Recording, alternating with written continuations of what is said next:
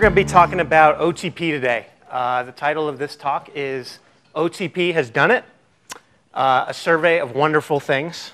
This is a magical land. Uh, I'm excited to welcome you to it. Uh, my name is Nick DeMonner. Uh, I'm the CTO at a small startup uh, in the local government software space called Seneca Systems. and we are, as of I guess a couple weeks ago, now doing all greenfield development in Elixir which we're really excited about. And uh, yeah, yeah. So um, I want to talk a little bit about, I'm kind of a cross Ruby and uh, Erlang native. Um, I'm coming from both those spaces on various projects. So I kind of wanted to talk about um, the, the different things that the OTP ecosystem has to offer to each of you. Um, I think that uh, you're going to find some stuff in here that's going to be really exciting for um, the, the work you're doing day to day. So the first thing I want to kind of uh, look at uh, are the principles that OTP was designed around. And really quickly, and this is the only time I'll mention it, but OTP stands for the Open Telecom Platform. Um, I didn't put it up there so that you could read it because I, I think often OTP gets short shrift because people assume that uh, it's somehow you know, only related to telecom applications. Um, in reality, that was where it was first developed, but uh, these are you know, common design implementations that we can use everywhere. Um, and the first, you know, and I think the most important principle is um, OTP is about separating uh, what is generic from what is specific. Um, what I mean by this is, oh, excuse me. What I mean by this is uh, it's very common for us in our industry to mistake uh, the challenges that we face as specific to our work, uh, to the domain problem that we're facing.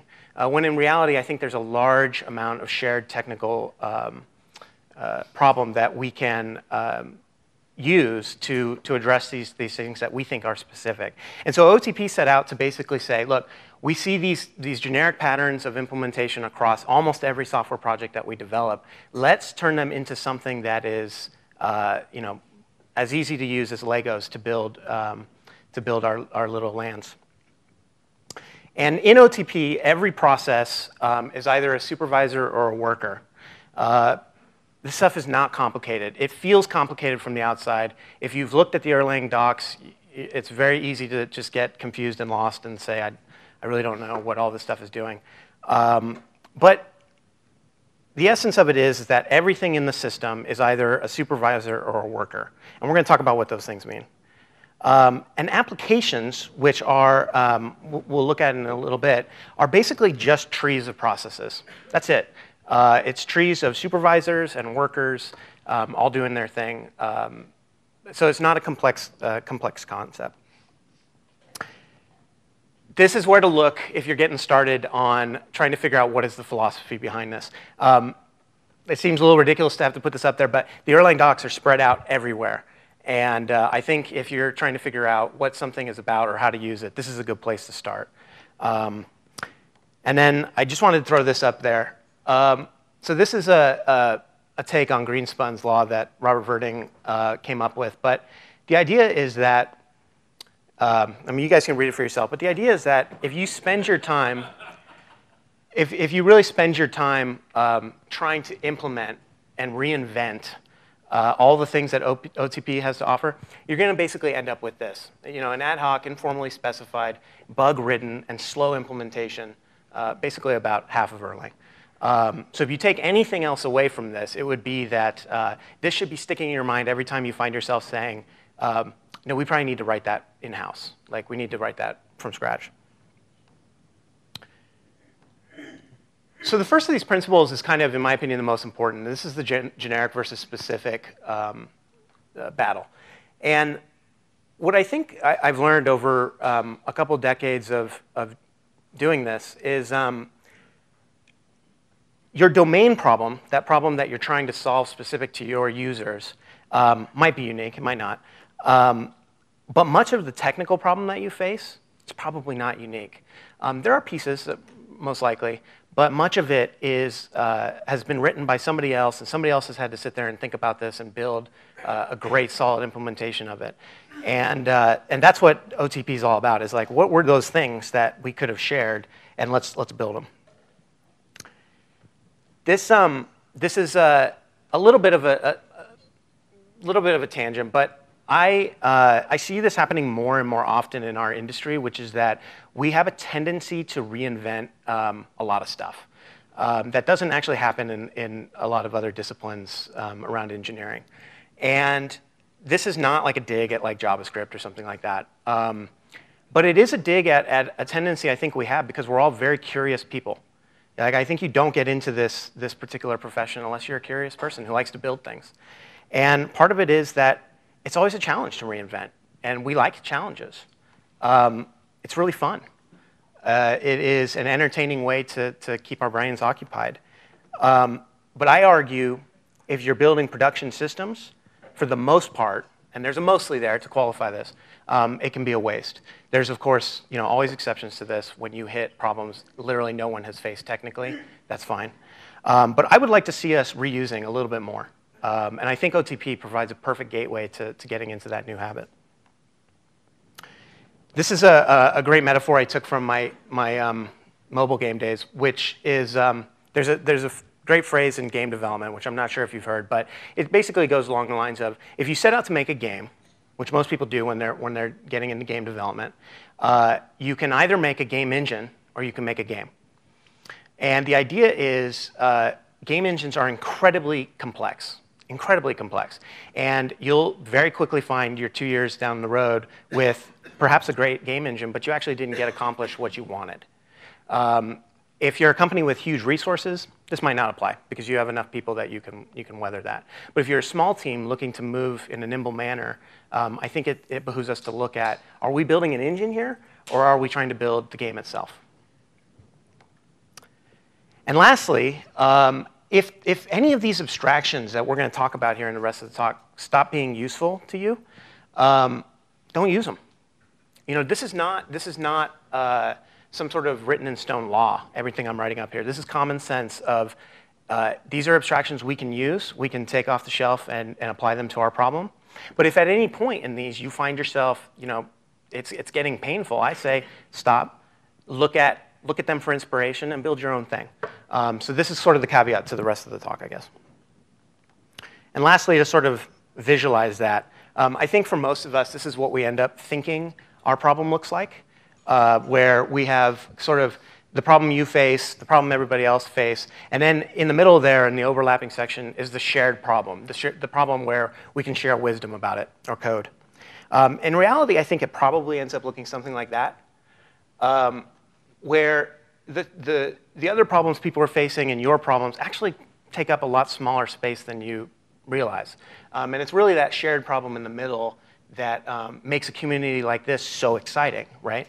This is a place where we can uh, extend that, and, or sorry, get those circles to overlap more. That, to me, is, is the secret to great productivity in this industry is the more that I can make these circles overlap, the more I'm able to apply uh, our expertise to that tinier sliver, right?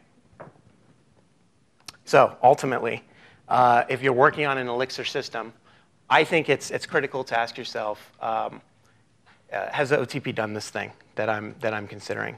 The answer, probably. Um, it's not yes, it's not an unqualified yes, but the answer is probably. These guys, uh, the, these teams have built, this is a marvel of engineering in my opinion, OTP. And we're gonna look at it, but it is a marvel of engineering. Uh, and people smarter than me spent a long time getting it right. Um, and I, I think uh, any time that I've looked, uh, mostly, with a few exceptions, OTP has, has solved my problem. So the first thing I want to talk about is this notion of applications. Um, we hear it a lot. If you spin up a mix, um, uh, do a mix new with like the, the um, SUP flag, you're going to get uh, an OTP application. And it can look a little overwhelming. You're, you're unsure of, you know, where do things start? Um, what are these uh, configuration files I'm looking at? What are these like? What is this version number for in this in this uh, config EXS? And an application is just a piece of functionality that can be started and stopped as a unit. Okay, uh, this is like systemd units. Um, systemd controversial, but this is uh, it's akin to that, right? An application is a piece of functionality that can start and stop um, at will. Um, and they can be mixed together in OTP, uh, which is really nice as well. Applications are optionally reusable. there's two kinds. There's um, regular application, I don't remember what they're called, and library applications. And the idea is that library applications are those that don't actually actively manage any processes. Um, they are providing functionality to you from other places. So a lot of the dependencies that you mix into your projects um, are library applications in OTP. I would say honestly, though, you don't actually need to worry about this a whole lot. Um, for most, the, the vast majority of projects, uh, the, OT, the application callbacks are done for you with Mix.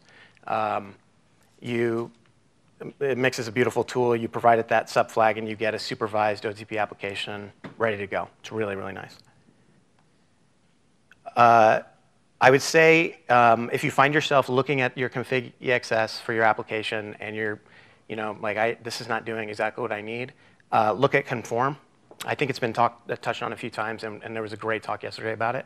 Uh, this is an incredibly powerful tool that I have some big hopes for that I can talk a little bit about later.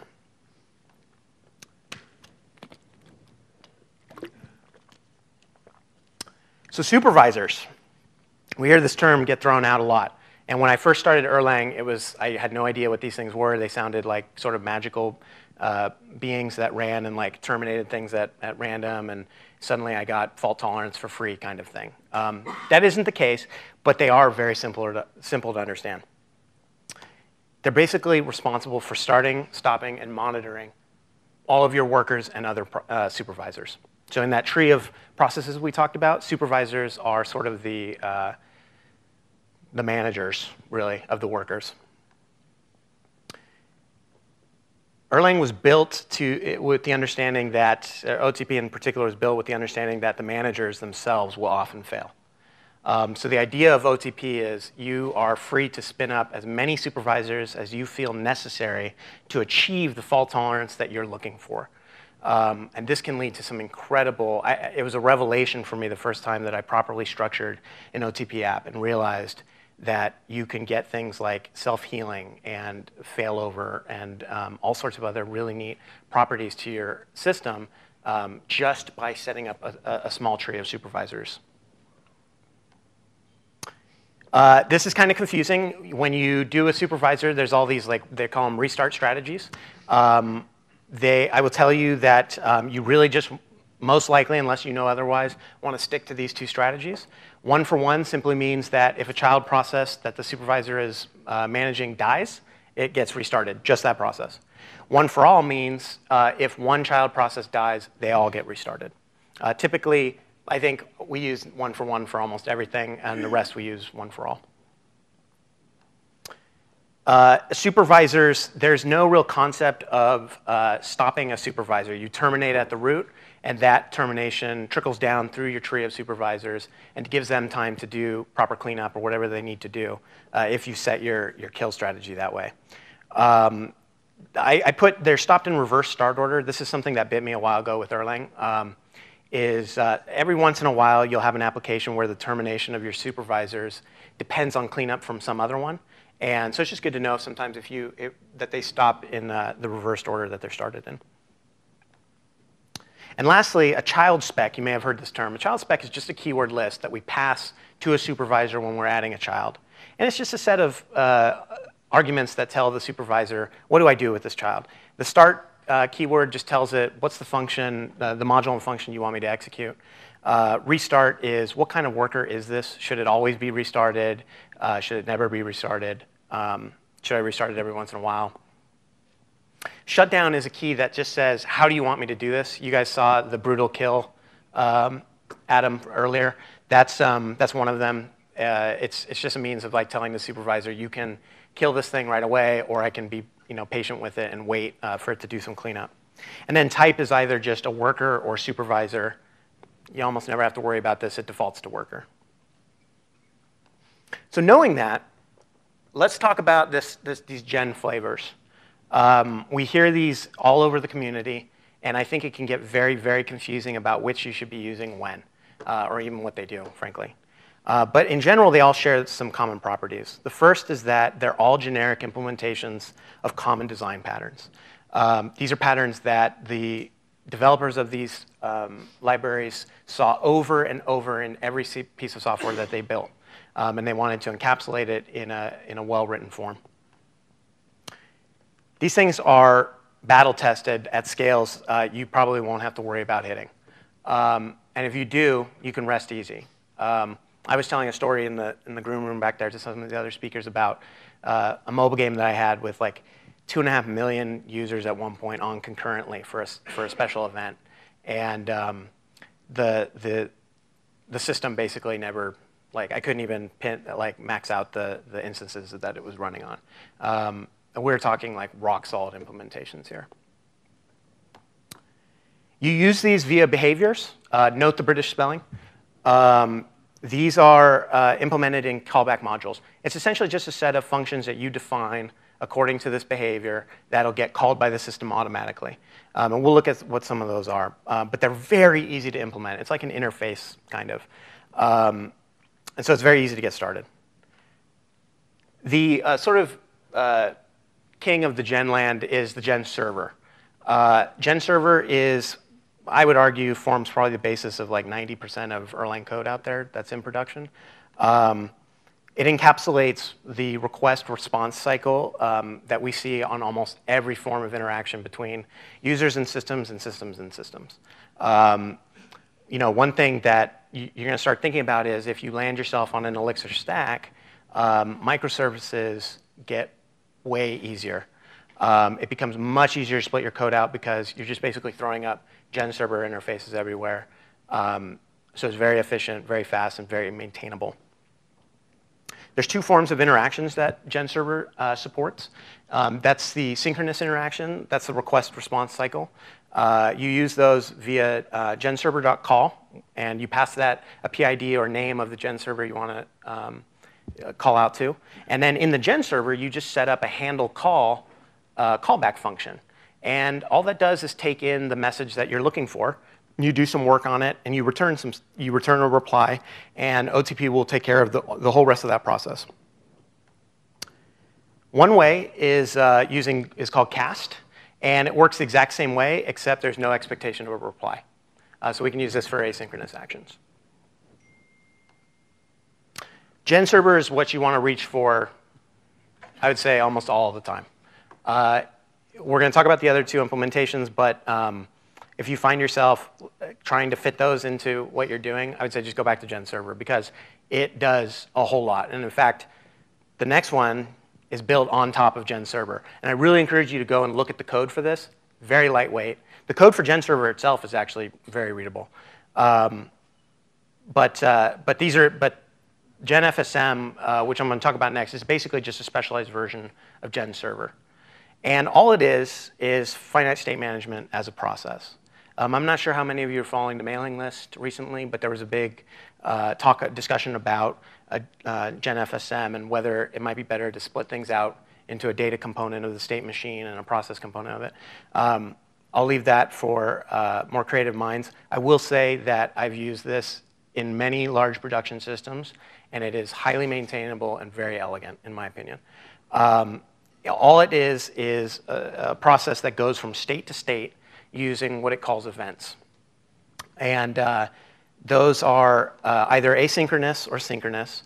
Um, and basically, all you do is uh, define a set of callbacks in your state machine that match on whatever the current state of that uh, FSM is, and then match on that uh, event that you're passing in. So for example, in this FSM, if we're in the uh, pending state and an approval event gets sent into the um, FSM, this function will be called. It's very easy to follow the logic. Um, it's composable. You can move this into multiple um, you know, modules and states. Uh, and, and we actually use this to do, um, well, actually, this will be going into production soon, but um, uh, a set of interactions with old government systems. So at Seneca, we work with a lot of local governments that are, there's like COBOL systems and things like that that we have to um, interact with for passing data like into a 311 system or something like that. And there's tons of failure modes, tons of them. Um, they have like business hours for the servers. Um, I'm not kidding. Uh, and so you want to have a way of spinning up, and we spin these up for each of the the processes that comes through. We spin up a Gen FSM, a way of encapsulating those failure modes and recovering from them gracefully, very gracefully. Um, and they're, they're really easy to write.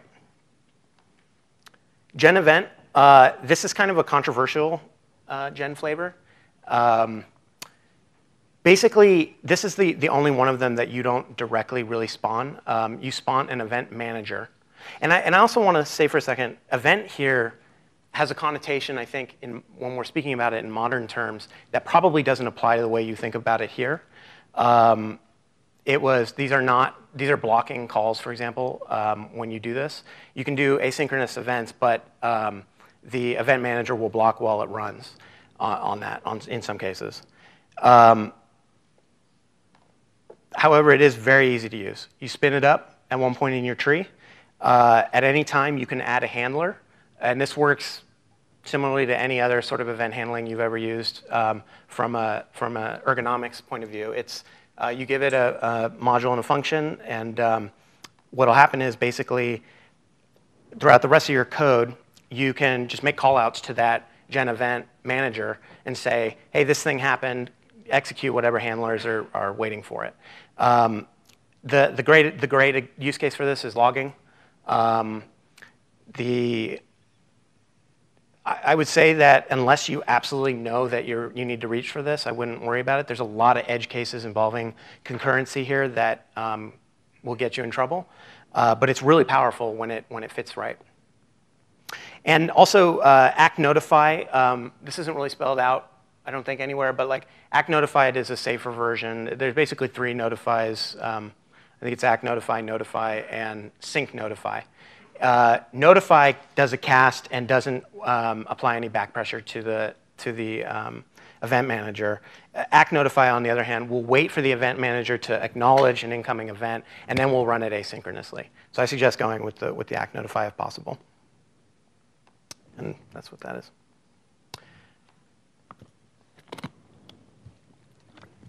So kind of moving away from the um, gen flavors for a moment. Uh, one of the common things that we face, especially in web infrastructure, are the, the need for sort of uh, ephemeral storage components. Uh, the ability to basically sit something in a performant cache uh, that can be distributed and talked to by multiple nodes um, without having to introduce a third-party um, process into the loop. Um, and ETS is, is, the, is Erlang's answer to this. This is uh, an Erlang term storage. Um, it's for storing arbitrary Erlang terms, so binaries or lists or tuples or whatever you want to store in it. Um, it's key value. It's very easy to use. And uh, it can be introduced into your process management uh, tree so that you're, you're never worried about it sticking around uh, beyond what you want to. Although, as we'll find out, it might disappear sometimes before you want it to. Um, but, uh, but this is a really powerful tool. And essentially, it comes in these four forms. One is called the, the set type, and this is the default. And this is essentially uh, unique keys to unique values, uh, or actually, sorry, unique keys. And uh, you can also specify that you want an ordered set, which is going to be ordered keys a bag, which allows you to have duplicate keys, but not duplicate values, uh, and then a duplicate bag, which will be duplicate keys and possibly duplicate values for those, for those duplicate keys. Um, I find myself reaching for set and sometimes ordered set um, to duplicate some of the stuff that Redis can do every once in a while. Um, but uh, I, I, honestly haven't gotten a whole lot of um, use out of the bag or duplicate, duplicate bag um, settings on this, although we were talking about it might be useful for time series storage to, to use a bag. Um, they come with these kind of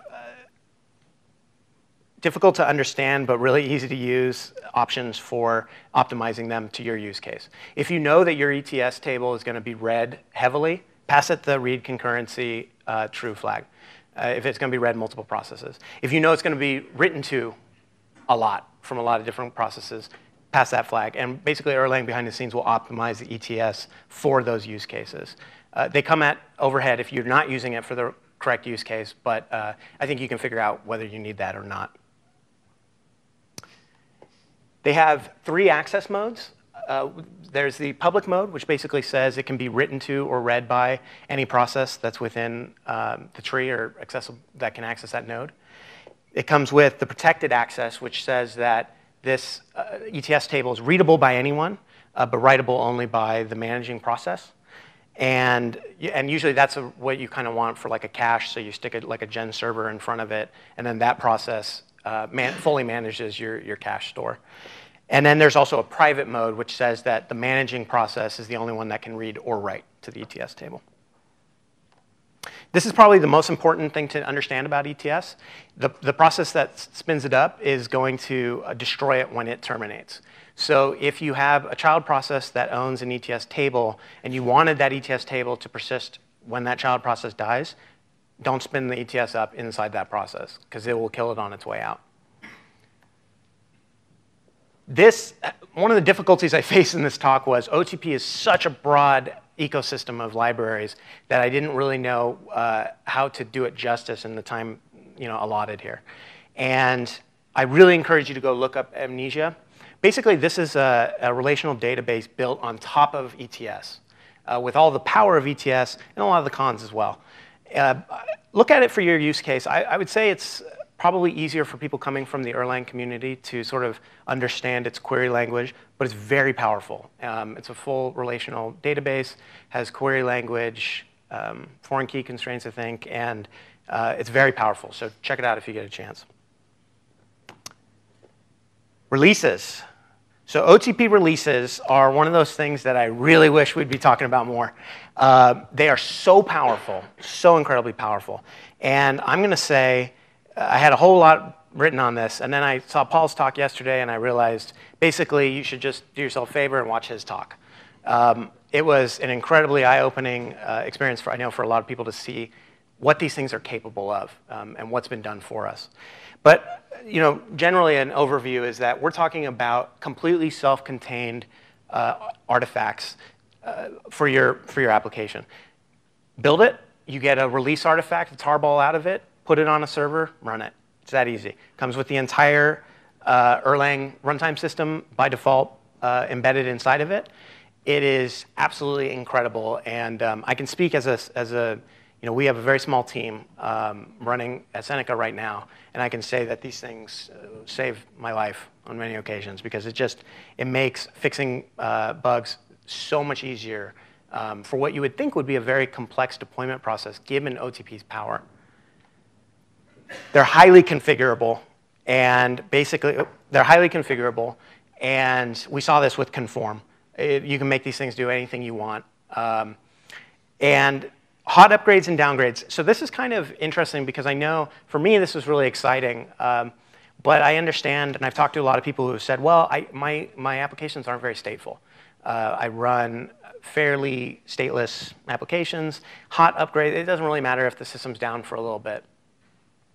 I'd argue two things about that. One is I think applications are moving. Um, we, we saw the keynote about the pendulum. I think applications are moving to needing at least some state handling on the back end. And I think, uh, I think while you can get away with throwing stuff out on, on say, a restart, I kind of look at it as like, let's, let's evolve the, the state of the industry a little bit. Let's expect this kind of uh, hot upgrades to become the standard for how we deploy code. Um, it's about time, I feel like. This is an incredibly powerful means for holding on to your, your application state, not disconnecting people um, at random times when you're doing maintenance or whatever. And part of this is that all of the gen flavors that I talked about support this really magical little function that never gets looked at called code change. Code change is just a callback uh, behavior, or a, a callback on the behavior that takes in uh, the old state of the application when this function was called and is expected to return the new state of it. This gets called during one of the hot upgrades or during a hot downgrade, and it's incredibly powerful. You can essentially take, for example, you could have uh, a stateful map of connections or something like that.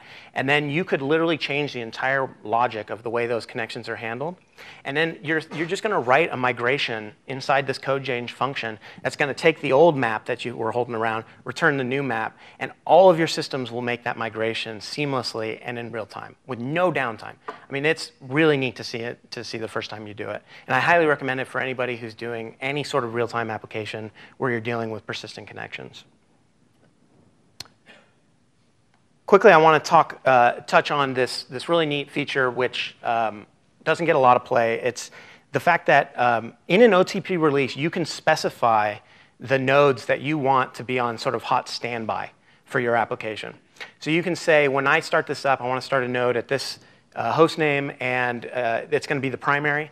And then I want to have these two hot standbys. And their job is to, to be started, but they're not going to be getting the traffic from, from, um, from, the, rest of the from the rest of the way that the tree trickles down. And um, at any time, if one of those nodes goes down, and you can configure what that means, how quickly or um, how much of a chance you want to give it to come back up. Basically, OTP will automatically fail over to one of your hot standby nodes. And uh, when your node comes back, uh, oh, sorry, yeah, so it's configured as part of the release.